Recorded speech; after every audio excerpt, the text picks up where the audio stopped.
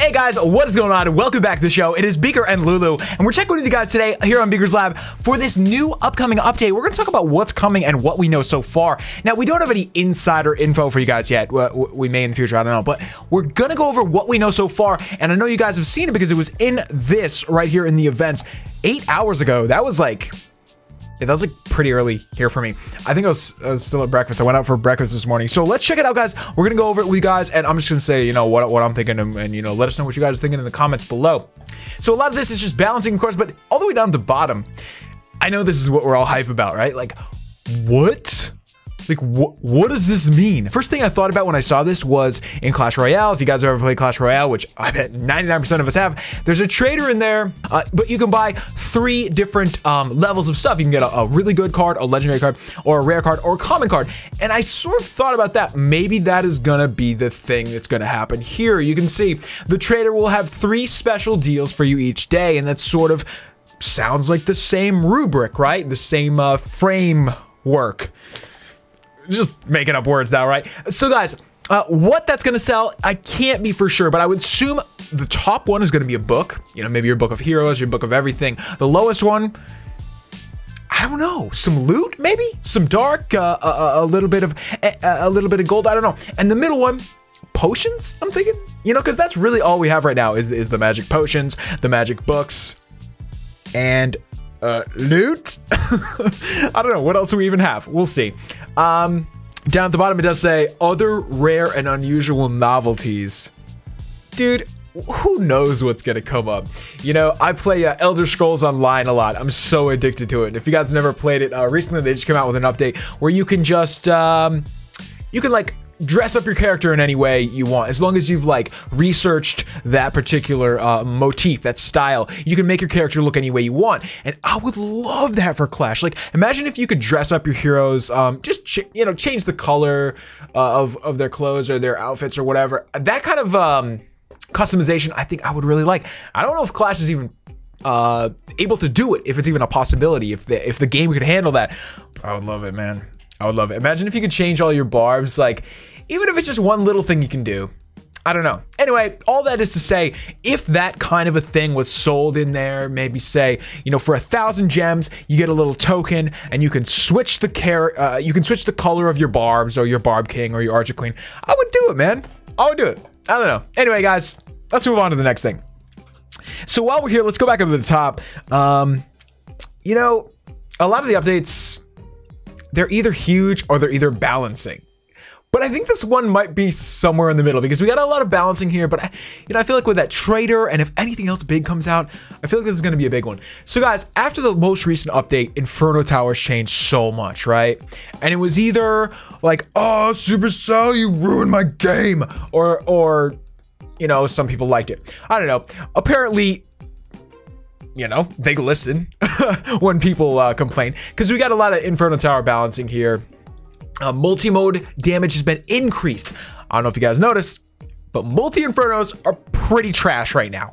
But at the same time, like you can't not have multi-infernos because they're good in some ways. Do you know what I mean? I mean, single infernos sort of took over. That's the thing. So this is hopefully going to change that. We're getting a little buff out of the multi, even at level three. I mean, level five is getting a pretty serious buff. And the single mode damage has been balanced to increase the time it takes to reach maximum damage. Now that is a big change. You can see uh, about well, yeah, a one whole second more is going on to that. So it's gonna take over five seconds to get to maximum damage. That's a while. And that matters. I mean, you know, think about a freeze spell. It only lasts like eight seconds, right? If it's max. So every second matters. That's pretty cool. I like that. Anyway, uh, Wizard Tower, has been decreased just when I started maxing those. Great, but that's nothing. Dude, those are so savage to begin with. What is up with Wizard Towers? Like, they are too savage. A uh, new trap levels, I kind of like this. I haven't had any traps upgrade in a while. Cool. Uh, the most... What? Are you kidding? I was just rolling... Did you guys just see that? I was scrolling down. That's dumb. Uh... ah! Let me go back in. Okay, where were we? So I'm most excited about the skeleton trap. I assume everybody is. The skelly trap is so dope. And if you get another level, it's gonna add what? Um, let me look at it right now. Hang on. Uh, wait, let me request some troops. And what is the Skelly Trap at right now? Let's look at the info. Um, hello? Okay, you can get four skeletons out of this right now. I would assume if we upgrade it, we're gonna get five.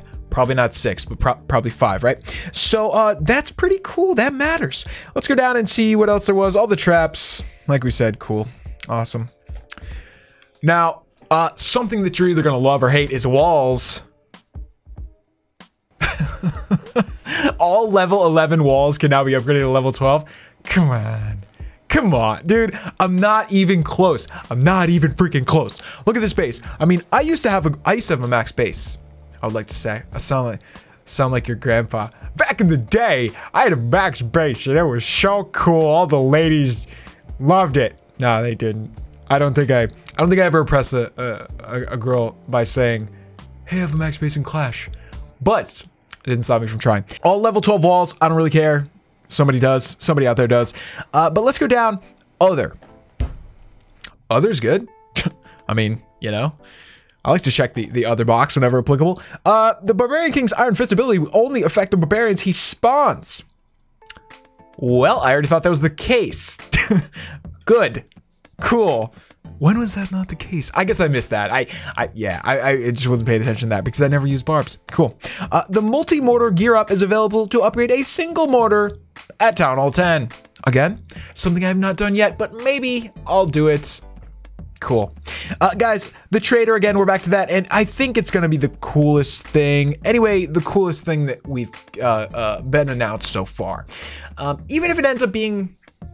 Okay, so say it comes out and it's like, it's like nothing. So, you know, like in the shop, um, where is it? Sometimes you go to the shop and there's like a special deal. Oh, wait, I'm not in the right place. Oh, it's just not here right now. You know, on the left, sometimes there's like a special deal.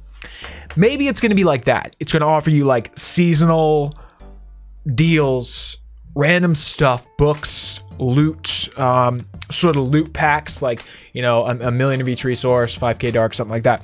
Um, even if it's like that and we don't like it, it'll change. Supercell pays attention, and if it turns out something we don't like, we don't use, we don't care about, it's gonna it's gonna morph and evolve. So I guess I'm excited about it for that reason. Even if it's not something I particularly like, I think eventually will be through like feedback and everything, um, you know, that we put in the game as fans. In the future, I'm always going to keep ranting about like customization in the game, and I hope that does come in the form of that trader in some way, even if it's like, dude, seasonal decorations. I want that. I've always wanted that. So we've got these. These are seasonal obstacles. You know, you can't move them. But if we had these, you could move and you could just buy like for Halloween, Easter, you know, this was uh, Chinese New Year, right? Um, whatever, you're able to get them and move them whenever you want. Like the cakes, dude, that could have been one. That could have been one you bought for like, I don't want it to be 500 gems, maybe 50. anyway, flags, you know, stuff like that. We'll see. Anyway, guys, I think that's it for today. We got some more stuff coming up. Of course, uh, this was just the first little peek into what's happening, and I wanted to jump on and talk about it because uh, it looks really cool, I can't, I can't wait to hear more about the trader. I can't wait to see it in action. Can't wait to show you guys if we get the opportunity. So we will do that. Be sure to uh, stay tuned for the upcoming stuff. Of course, guys, this is just the beginning. It's going to be a cool update. It's always good to see everybody get back interested in uh, in Clash because it is a free game, and we all have so many games in our lives. At least I do. So sometimes, you know, you sort of drift away to other things. You're like, oh, I got to play this. But an update always brings us back uh, back into the fold. So anyway, guys, we love you so much. Thank you for coming out. Again, tune in next time. We'll have some more stuff about this as soon as some more stuff comes out. We'll see you then. Peace.